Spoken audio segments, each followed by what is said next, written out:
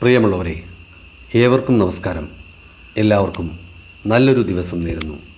തിരുക്കുറളിലെ ഇരുന്നൂറ്റി അൻപതാമത്തെ കുറൾ.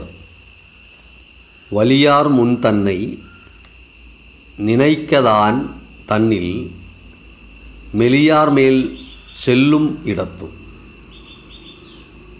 താൻ തന്നിൽ മെലിയാർ മേൽ കരുണയില്ലാത്തവൻ തന്നിൽ താഴ്ന്ന അബലരിൽ അഥവാ ശക്തൻ അശക്തനിൽ ചെല്ലും ഇടത്തു പീഡ നൽകുമ്പോൾ വലിയാർ മുൻ തന്നേക്കാൾ ശക്തിയാർന്ന ദയയില്ലാത്തവരുടെ മുന്നിൽ അഥവാ ശക്തന്റെ മുന്നിൽ ദയയില്ലാത്ത ശക്തന്റെ മുന്നിൽ തന്നെ നിനയ്ക്ക. താനെന്ന അശക്തൻ സർവവും അടക്കി വിറപൂണ്ട് നിൽക്കുന്നതായ നിലയെയും ഓർമ്മ വയ്ക്കണം. സാരാംശം. കരുണയില്ലാത്തവൻ തന്നിൽ താഴ്ന്ന അബലരിൽ പീഡ നൽകുമ്പോൾ തന്നേക്കാൾ ശക്തിയാർന്ന ദയയില്ലാത്തവരുടെ മുന്നിൽ താൻ സർവവും അടക്കി വിറപൂണ്ട് നിൽക്കുന്നതായ നിലയെയും ഓർമ്മ വയ്ക്കണം. തന്നിൽ താഴ്ന്ന അബലരോട് ദയയില്ലാതെ പെരുമാറുന്നവൻ തന്നേക്കാൾ ബലമുള്ളവരുടെ മുന്നിൽ അനുഭവിക്കേണ്ടി വരുന്ന യാതനകളെ മനസ്സിൽ കണ്ടാൽ അങ്ങനെയുള്ള കരുണയറ്റ കർമ്മം അയാൾ ചെയ്യുവാൻ തുനിയുകയില്ല. പദ്യപരിഭാഷ പരിശോധിക്കാം. Shri P N Vijayan.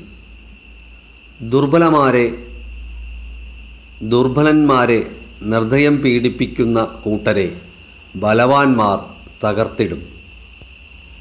Shri Murali ബമണൂർ. ദയയില്ലാത്തോനബലൻ നേർക്കായി ഭീഷണിയോതിടും പ്രബലൻ മുൻ മുൻപിൽ പത്തിമടക്കി ദയയ്ക്കു യാചിക്കും. ശ്രീ ബാബുരാജ് കടമ്പൂര് തന്നേക്കാൾ താഴ്ന്നോരിടം ക്രൂരത കാട്ടുന്നവർ ചെന്നു വീണിടും ബലശാലികൾ തൻ മുന്നിലായി. ശ്രീ തോമസ് താമരശ്ശേരി.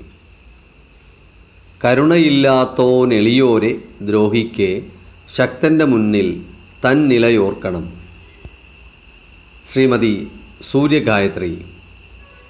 തന്നിലെളിയോനെ പീഡിപ്പിച്ചിടുമ്പോൾ താനുമൊരിക്കൽ കരുണയില്ലാ ശക്തനുടെ ഇരയാവുമെന്നോർക്ക.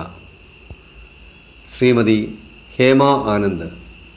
കാരുണ്യമില്ലാത്ത മർത്യരശക്തനിൽ ക്രൂരമാം പീഡ നൽകുന്നെങ്കിലും ക്രൗരതയേറിയ ശക്തർക്കു മുമ്പിലായി കാരുണ്യത്തിനു യാചിച്ചു നിൽക്കും. ശ്രീമതി ജലജാപ്രസാദ്. ശക്തനായവൻ തന്നുടെ മുമ്പിലായി പഞ്ചപുച്ഛമടക്കി നിന്നിടുന്നൊരു സ്ഥിതിയെ മനസ്സിൽ കരുതണം.